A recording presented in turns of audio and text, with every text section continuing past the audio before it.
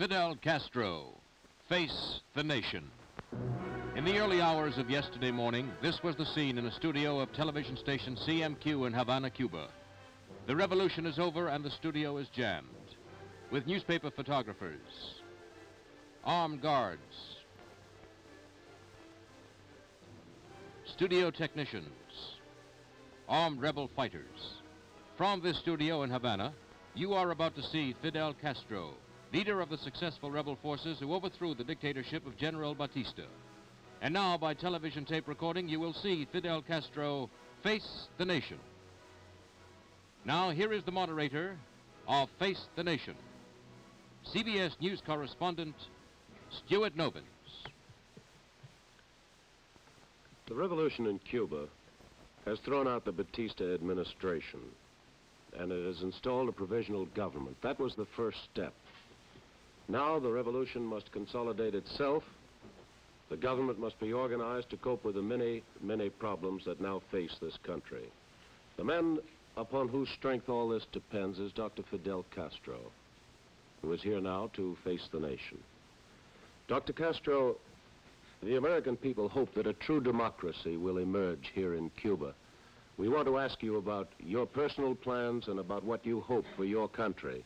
In order to do that, we're here in this special edition of Face the Nation, and the gentleman I want to identify on your side is there to help you with language if you need it, and I'm sure you won't. May I introduce our panel of newsmen, Dr. Castro? Jay Mallon of Time Magazine, Richard Bate of CBS News, William L. Ryan of the Associated Press, who will ask the first question. Mr. Ryan? Dr. Castro, the recent events in Cuba have been full of hope for the Cuban people. But is this hopeful revolution now being threatened by some person or persons within the revolutionary organizations? Our interpreter on the special edition is Mr. Jack Skelly, who has lived here in Cuba for 25 years, a former UP correspondent in Washington. Well, I'm going to tell you. It, the government, this, the president of Cuba now is consolidated in the power and have the help of the biggest movement and of the public opinion. That is the 26th of July yes, movement, Doctor? and many other organi- another organizations. And he is sure in power.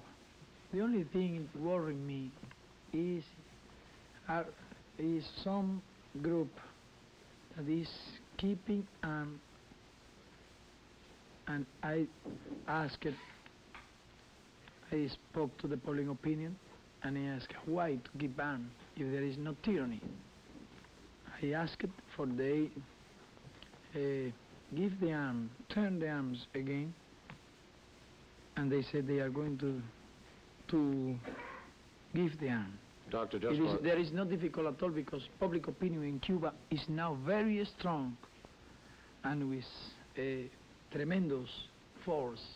Nobody is enough powerful to op- opposite now the public opinion of the free country of Cuba. Doctor, just for clarification, this group that has been carrying arms, is this the student group, the university group? Not the university group because the students are almost How do you Listen. identify this group, Doctor? a group that uh, several years ago they were students.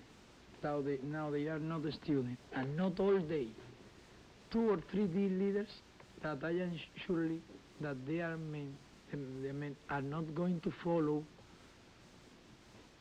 themselves. They, This is the group of Faure Chomón. yes, but Faure Chomón is going to be to fall in crisis, crisis, Crisis? in crisis. Yes. because the group is a group of young, idealistic, and uh, good men. Mr. Bate? Is this This is the my same opinion. group? They cannot do anything at all. It will not uh, be another thing than the, a, a word war. Dr. Castro, is this You the same group that, Not uh, difficult. is this the same group, however, that uh, you spoke of the other night when you said someone had stolen some arms from an arsenal near Cuba? Yes. Have you gotten those arms back? Yes, they said they were to turn back and they cannot do anything because of you have all the mother of Cuba has said that it's not necessary that they send a soldiers to take our soldiers to take the arms because they are decided to go and to take the arms.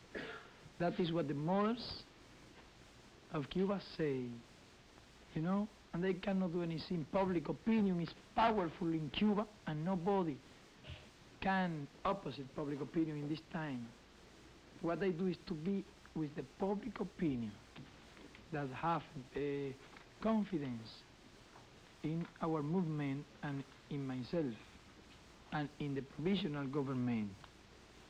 That is why I think that we will have no trouble. Do you know why? Because we have the power, the forces, the army force, and we are not, we are near the president. We help the president without condition the civil government is sure. Doctor? He gives orders to us, and we are decided to obey the orders because we are men of law, not professional of, of the arms. Mr. Mallon? Is it clear? Yes, yes, Do you yes. believe that the public opinion will hear me in the United States and understand me? I am sure they will, Dr. Castro. I am not very much sure. Of your English, you mean? I think to improve for next time. Very good, but you're doing very well now. Mr. Mallon? Dr. Castro, do you believe that the Directorio will surrender these arms uh, voluntarily? No, they are men that are good men, young men, will not do anything against the revolution. And they, ma- many of them think in good, well, and love the revolution and the country. There are two or three leaders, small leaders with big ambitions. That is all, and not difficult at all. You can be sure that will not be difficult. I know quite well my country. I know quite well my people. I know quite well the public opinion. I, I know that who rule in Cuba now, who gives orders now in Cuba, is the public opinion with the free press as the vehicle, as the the the, The vehicle? way, way. Yes. Dr. Castro, uh, yes, go ahead, Mr. Aaron. uh, just what are the ambitions of these leaders? Just what do they want specifically? Nobody know what they what they want is to to worry to ¿cómo se dice?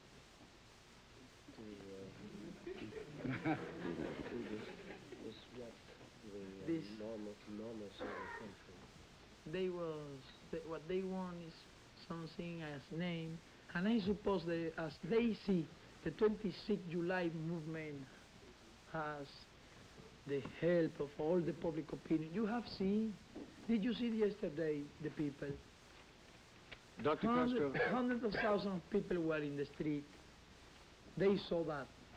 Those two or three leaders, and they cannot be happy. What they want is to debe quedarnos dolor de cabeza. give us headache. Dr. Castro, I think there's no doubt that your 26th of July movement is the best organized group and perhaps the largest group, but does that mean that you intend to run the government by yourself? Or will there be, Myself, uh, not you, but your party, will there be participation of other political not parties? big participation, because the president wanted to design the, the majority of the minister, of the member of the government. He, he asked us to help him. He asked us so that we permit that our men take part, take part in the government. At the beginning, we were not interested. Well, what about the Directorio, Dr. Castro? Will they also have positions in the ministers, in the ministry, in the cabinet? Well, the president, when when we we elected him, it was without condition. You know. And what happened is this: if this small group, you give participation in two or three months, if they want, they said this is not good for anything. You give they you give they participation, they use that to produce a crisis. It is better for the for the government, for the surely, and for the, the development the development of the, go- the provisional government, so that we have not possibility of crisis. You think it is No. the purpose of the Directorio to create a real crisis in Cuba so that they can take No. over power? Is that what you're saying? Two or three small leaders Yes. that are trying to produce, not, not to produce the crisis, are trying to play with fire. Do you know? Yes. But they, that they will not go very far because nobody follow those kind of people. I. Dr. Castro, you you said that Yes, in, uh, That you, is the truth. you Claro. said that in 18 months or so there will be free elections in Cuba. When Yes. this time comes, will uh, the will all political parties be allowed to run candidates in these elections? Yes, of course. All political parties, including the Directorio. Of course, if we don't give free to all the political parties to organize, we are not a dem- democratic uh, country. We have fought for the democracy here and, and for the free, for the freedom Why of our people.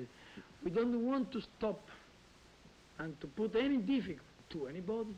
And we believe in democracy. Why will it be necessary to wait 18 months before free elections can be held? Well, do you, do you think it is good for the Cuba now, when all the people what want is peace, when all the people that what want is that the government repair the mistakes and the barbaridad, mm, the barbarity of the before government. Don't you believe that our country needs at least one year to work? Do you believe that between in the in the in the fight of the political party, is it possible to do anything? If we give a free election tomorrow, we win because we have almost all the people. We have now more people than in 18 years. Do you- because after after after 18 years, I am sure many people are going to be tired Do you of feel that me and of everybody because people tired very very fast. But do you feel that there would be That trouble if free elections were held tomorrow in Cuba? Do you feel that you would rather have almost uh, over a year in order to uh, uh, consolidate things before free elections are held? Really?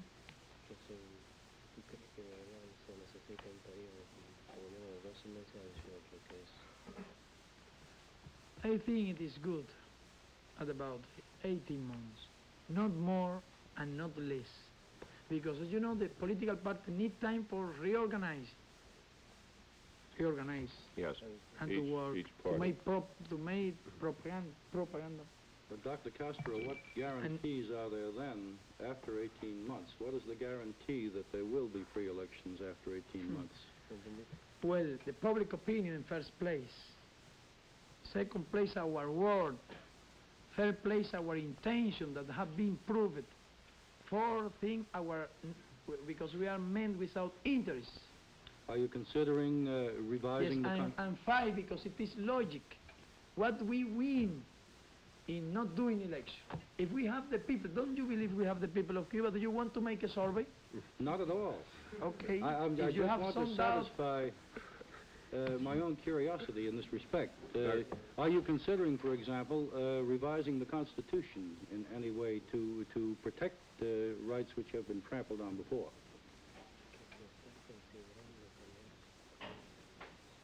why? Why there is? It is not necessary at all. It is not necessary. Our constitution, everybody in our country is happy with our constitution. To Yes. change the constitution now is to provocate, provocate To provoke. Not people is not going to be quiet.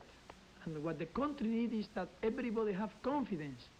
And we have said our constitutional law is the Constitution of 1940, and everybody is happy and is sure and know what to do. Dr. Mr. Mallon?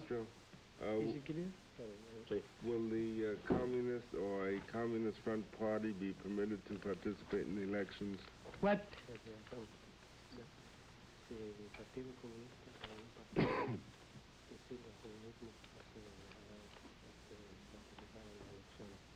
what I th- what I think about that is this: the uh, when the tyranny was falling, the country there there there are going to be the same right that were before 19 the 10th of March 10 1952.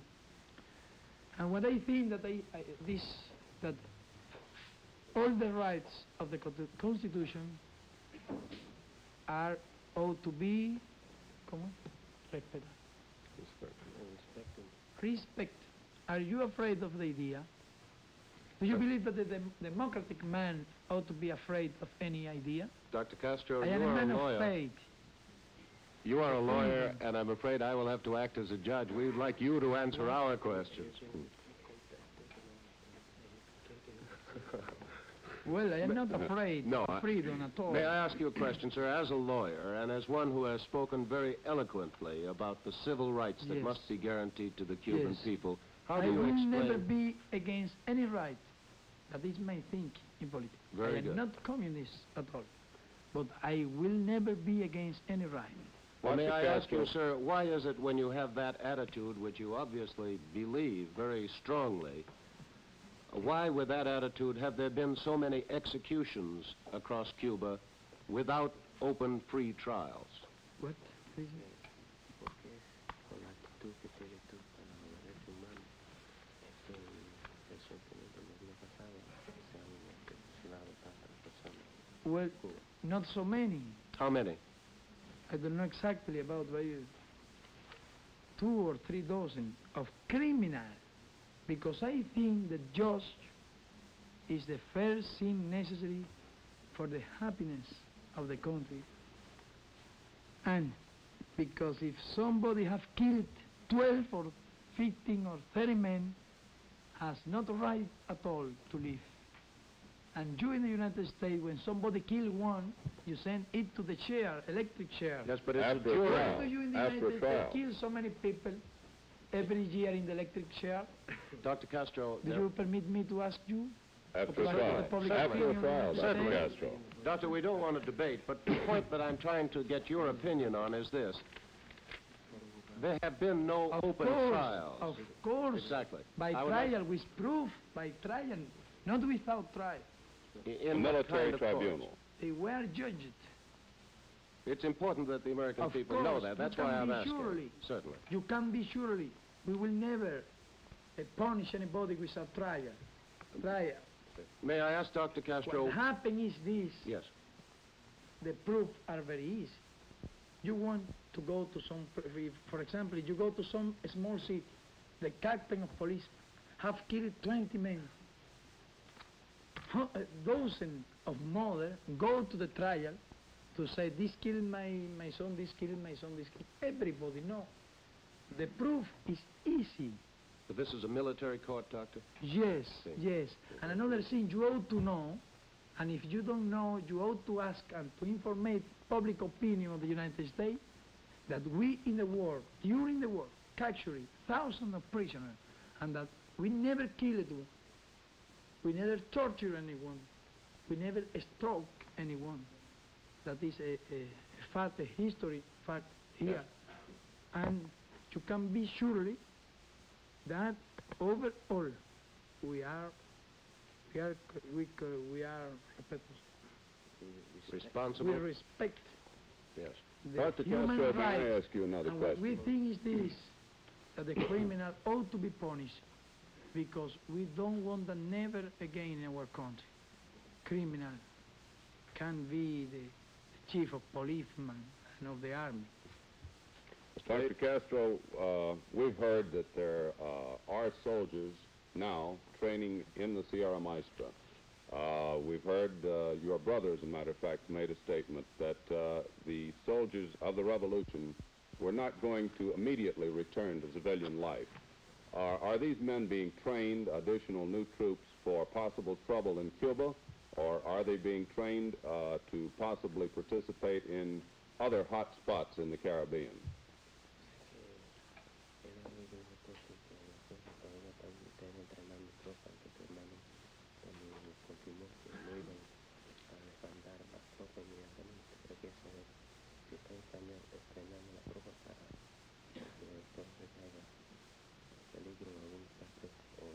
Question is being Not, interpreted. huh? not, not, not. We are training some groups of those men that were not regular soldiers of the revolution. And so that we joined them, they were with bad arms, Mhm. and they were doing what they could against tyranny. And what we have made is to take them, to join them, to disciplinate them as a matter of public order. How large an army do you feel Cuba needs in Not normal very big. Not very big because we have as army all the people of Cuba. When it be necessary to defend our country, here the men and the women fight. I think that everybody ought to be soldier of our country to defend our pay, pay, our country. That is why we don't need a big army.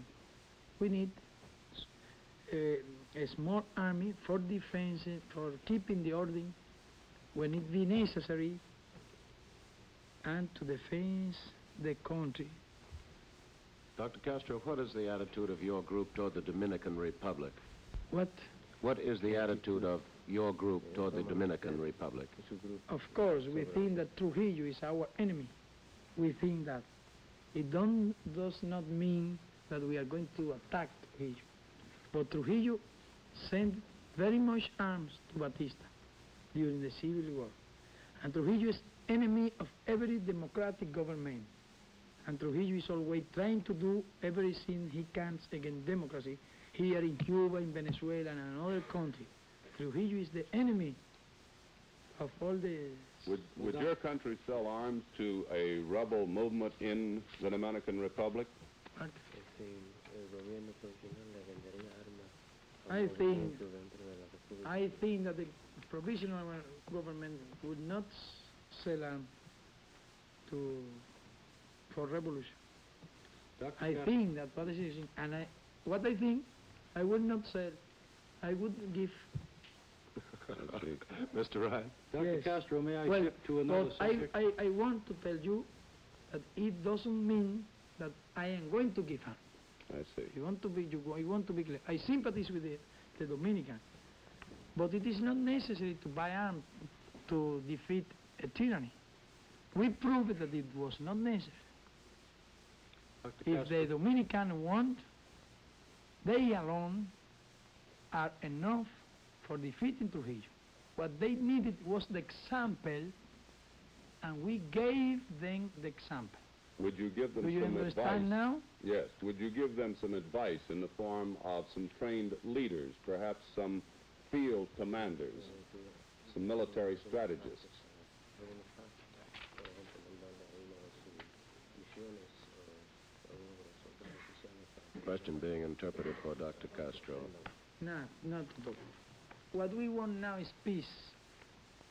We, what we want now is to pay attention to our things here.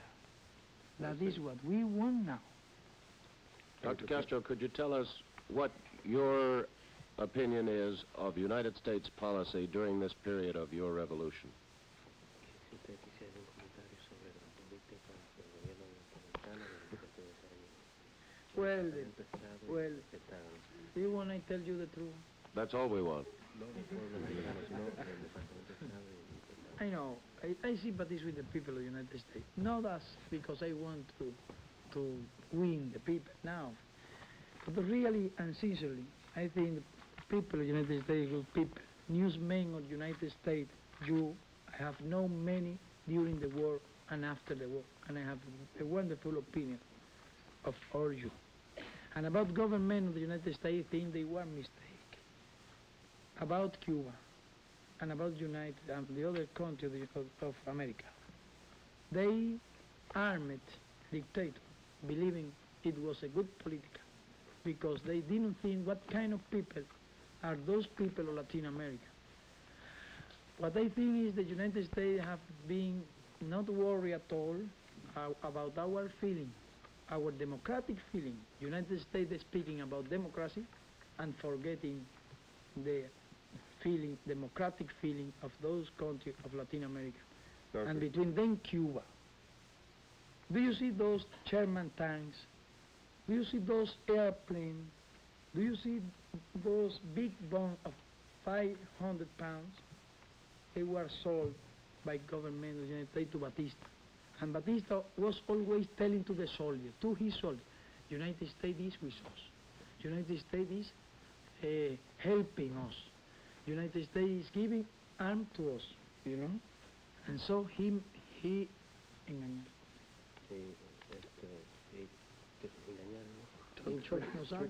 Trick, He didn't, never said the truth to United States, and so he carried the arm, he carried his army to the, to the complete destruction. Because he said, here, you see, there are the 10 officers, 12 officers here, training you. United States, help us, help me. And the soldier believes United States was helping them. Dr. Well, but United States, I ought to recognize, I ought to recognize that the last year, United States changed his policy. United States didn't send arms to Batista. Stop. But you asked me how was his political. I said you the truth. I think it was mistake. He stopped. It was good, and we are happy for that. United States recognize our government. It was good. We are happy for that. Do you understand? Is there any But truth to the story hope that the United States change. Is there any truth to the story that you've asked or are thinking about asking the recall of the American ambassador here? que se espera que quiten el embajador I cannot, I cannot ask for that because I am not the Minister of State, the Secretary of State. Do you know? Right. I cannot answer you about that. Dr. I Castro, don't there- want to interve- make intervention in the, in the government. there is one question I think you can answer very briefly. I understand that a businessman has offered you $25,000 for your beard. Did you accept the offer? Well, no, I am not going to sell my, my. Thank you very much, Dr. Not at all. Castro, and thanks to Jay Mallon of Time Magazine, Dick Bate of CBS News, William L. Ryan of the Associated Press. This is Stuart Novins. We invite you to join us again for Face the Nation. Today's special edition came from Havana. Face the Nation was produced by Ted Ayers, associated in production with Frank Donge and Roberto Wilkinson. The director for television station CMQ in Havana was Roberto Miranda. Today you saw by television recording Dr. Fidel Castro, leader of the rebel forces who overthrew the dictatorship of General Batista in Cuba, face the nation. Members of the panel who interviewed Dr. Castro were William L. Ryan of the Associated Press, Jay Mallon of Time Magazine, and Richard Bate of CBS News. The moderator was CBS News correspondent Stuart Novins. Face the Nation is a weekly presentation of CBS News.